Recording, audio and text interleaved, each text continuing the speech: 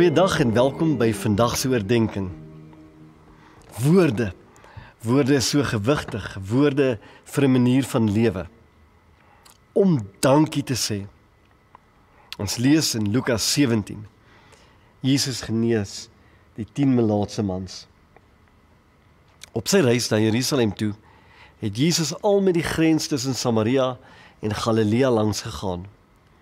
Net toe hy by 'n sekere dorpie wou binnegaan, kom 10 melaatse mans hom tegemoet. Maar hulle bly op 'n afstand en roep hard uit: "Jesus, Here, ontferm U oor ons." Toe hy hulle sien, sê hy vir hulle: "Gaan wys julle vir die priesters." Op pad daarheen het hulle gesond geword. Een van hulle het toe hy sien dat hy genees is, omgedraai en God hardop geprys. Hy het voor die voete van Jesus neergeval en hom gedank. Hierdie man was 'n Samaritaan. Toe sê Jesus, was daar nie 10 wat gesond gemaak is nie. Waar is die ander 9 dan?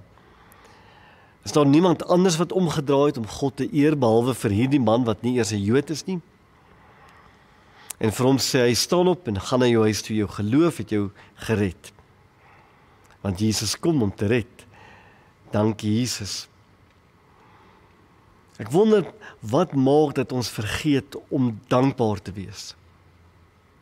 Vergelykings is 'n element wat dankbaarheid doodmaak. Wanneer ek nie bewus is van wat Jesus met my doen nie, maar wat het hy met die ander gedoen? Die rede hoekom hierdie klomp na 'n priester toe gegaan het, is jy gaan na die priester toe as jy melaats was, as jy skoon is dat die priester kan kyk of jy skoon is. So 10 het geglo Jesus kan dit doen want hulle was desperaat en dan is daar een wat kyk en nie vergelyk nie. En hy kyk en hy sien hy's genees van sy siekte en hy gaan na Jesus toe en Jesus kom en maak hom heel sê die skrif die oorspronklike sozo of sozo hang af wie Griekse prof was. Jesus kom en maak heel. Daar's 'n storie van 'n saad wat op grond geval het en toe reën dit en dit word deur 'n perd dieper en dieper in die modder getrap. Dit begin sneeu en die saad voel vasgevang in die harde koue modder die hele winter lank. En hy vergelyk hom met die ander sade wat op beter plekke geval het. Maar daaronder vasgevang kan hy nie sien dat die ander sade word opgepik deur voëls nie. Toe die lente aanbreek, moes die saad met baie moeite begin wortel skiet en later met nog energie sy eerste takkie uitstoot en wanneer hy toe sy kop bo die grond uitsteek en sien dat hy die enigste een is wat daar is en later tot 'n reuse boom groei was hy dankbaar dat selfs in die moeilikste donker tye in die koue modder Hy weet dat sy wortels diep geanker was. En dit het hom nog baie vreugdevolle dae in sy lewe laat leef. Die moeilike tye het hom sterk gemaak om in dankbaarheid boontoe te groei. Mag jou dankbaarheid voortspruit uit dit wat jy ontvang op jou pad en mag jy dit na Jesus neem. In die diepste nood, in die diepste tye van mag ek sê melaats wees om dit na Jesus te neem. Wees in alle omstandighede dankbaar. Dit beteken nie ontken wanneer dinge moeilik is nie. Die melaatses het nie ontken nie die dit beteken nie ontken nie. Maar om iets te vind om in dankbaarheid te leef. Ek dink aan 'n man in 'n TED gesprek, TED Talk wat gesê het hy het besluit om die dag dankbaar te raak oor koffie, gewoon koffie. Hy het na sê maar Starbucks gegaan en hy het besef hy kan vir die barista sê baie dankie vir die wonderlike koppie koffie.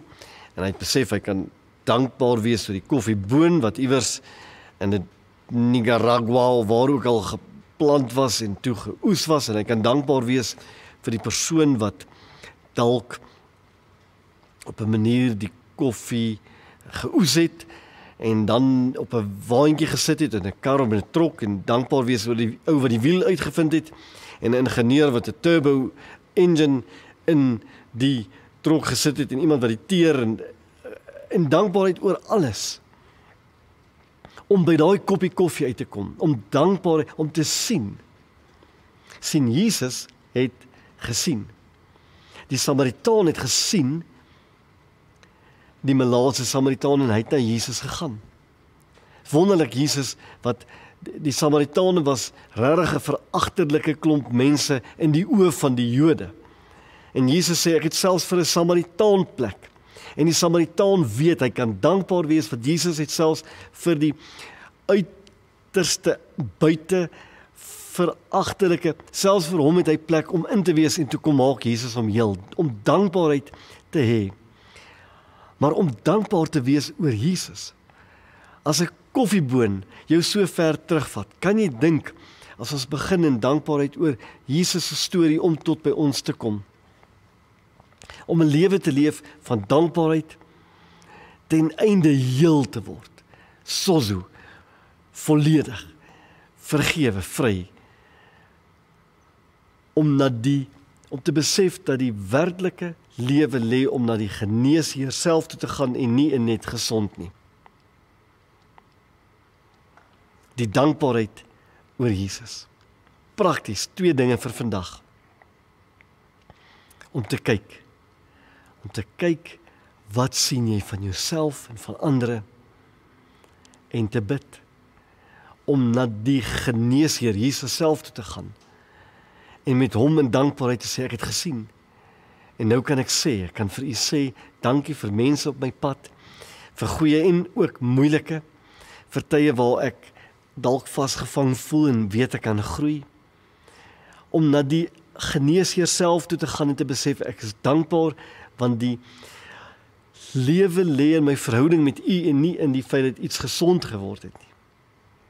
En dalk sommer lofprysing om tyd te maak om sommer net lekker op een of ander manier op een of ander manier of jy sing en of jy loop en of jy stil sit en of jy tyd maak by die Here uit te kom en sê my wese is by u in lofprysing.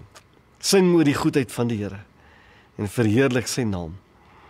Mag jou week wees jou dag wees vol dankbaarheid vir iets en spesifiek vir die uiteindelike geneesheer Jesus Christus. Kom ons bid Jesus, dankie dat U vir ons werklik 'n plek gegee het om na heen toe te kom, U self. En by U is woorde van lewe. By U is lewe. By U en in U en deur U is vir ons ryker en dieper as wat ons kan dink of beplan. Jesus ons koning, amen. Mag die groot genade van ons Here Jesus Christus, die liefde van God jou Vader en die kragtige teenwoordigheid van die Heilige Gees met jou wees vir altyd en altyd en altyd. Amen.